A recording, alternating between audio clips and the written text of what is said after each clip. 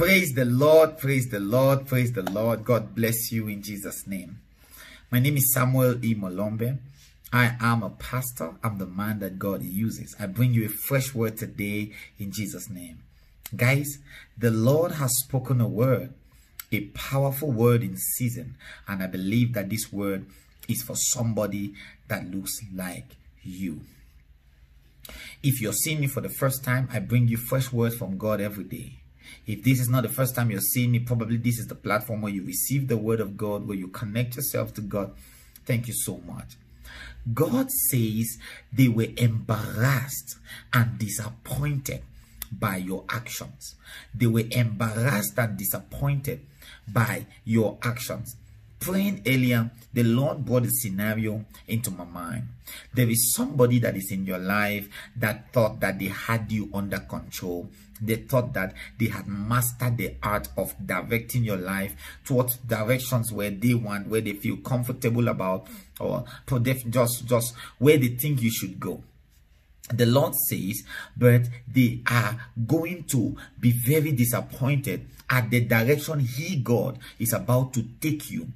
God says they think that they have your life planned, but He has a bigger plan. You see, human beings want you to be loyal to their idea of you. They want you to be loyal to what they think about you. They want you to be loyal to what they think should be what you must do.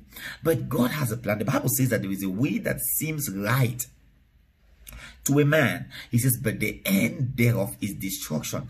There's a way that seems right. He says, but the end is destruction. I want to pray and declare upon you, just like the Lord have spoken, that he himself will hold you by his righteous right hand. He will take you to where he wants you to be in destiny.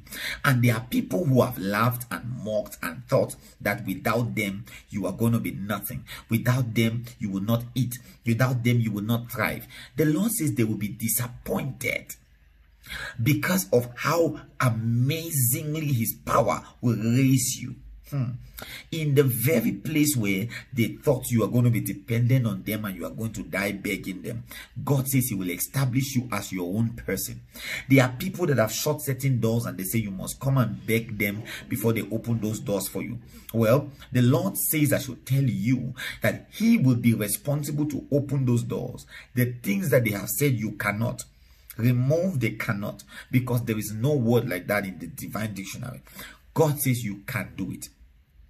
You will get there. You will receive those blessings. You will enter those heights. You will get to those realms in the name of jesus. I bless you today and i declare that the grace of god will stand with you all the way and bring you the victory. In jesus christ's name amen